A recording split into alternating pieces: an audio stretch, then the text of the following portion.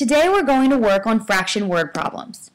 Often, bar models can help us see how to solve a problem using different methods. So we're going to work through these problems using bar models. Jim had 360 stamps. He sold one third of them on Monday and one fourth of the remainder on Tuesday. How many stamps did he sell on Tuesday? Think.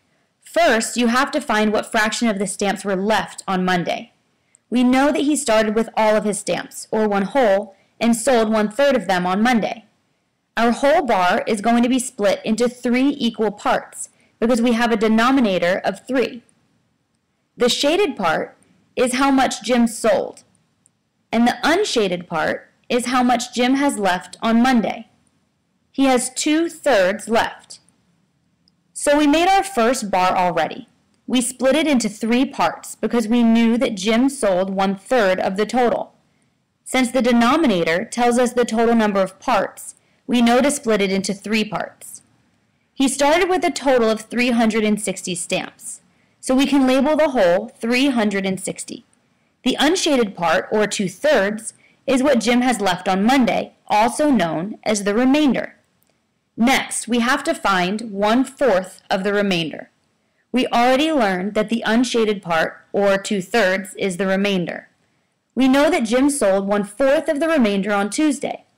We can break the remainder into four equal parts. The shaded part, or one-fourth, of the remainder is what Jim had left on Tuesday and can be labeled with our question mark. Now our bar model is complete and we can solve. Looking at the bar model, you can see that we are finding one-fourth of two-thirds. We can solve by multiplying. Our multiplication problem is written one-fourth times two-thirds.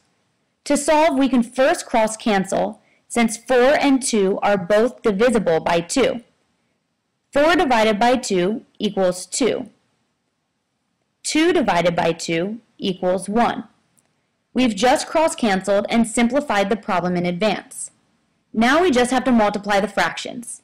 We multiply our numerators, and then we multiply our denominators. 1 fourth times 2 thirds equals 1 sixth. Jim sold 1 sixth of his stamps on Tuesday.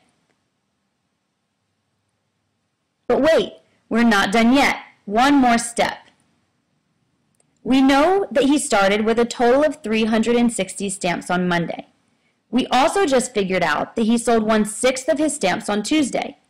So we can find the actual number of stamps Jim sold on Tuesday and fill in our question mark on the bar model. On Tuesday, Jim sold one-sixth of 360 stamps. We can solve by multiplying. Remember, a whole number can easily be changed into an improper fraction, by putting the whole number over a denominator of 1. 360 is the same as 360 divided by 1. Press pause and solve this multiplication problem in your notebook. Be sure to show your work. When you've finished solving the problem, click play and continue the video. Press pause now. Have you solved the problem in your notebook yet? Did you remember to show your work? If so, continue watching the video. If not, Pause and solve it now. 1 sixth times 360 equals 60. We've solved for our question mark. We can now cross it out and fill in the correct amount. Jim sold 60 stamps on Tuesday. Yay, we solved the problem. Now you're going to try one of your own. Take out your math notebook. Please put today's date and title this entry Flip Video. Pause the video so you can copy the problem into your math notebook. Afterwards, solve and be sure to show all of your work. This includes a bar model. We will review the problem in class tomorrow. Created using Powtoon.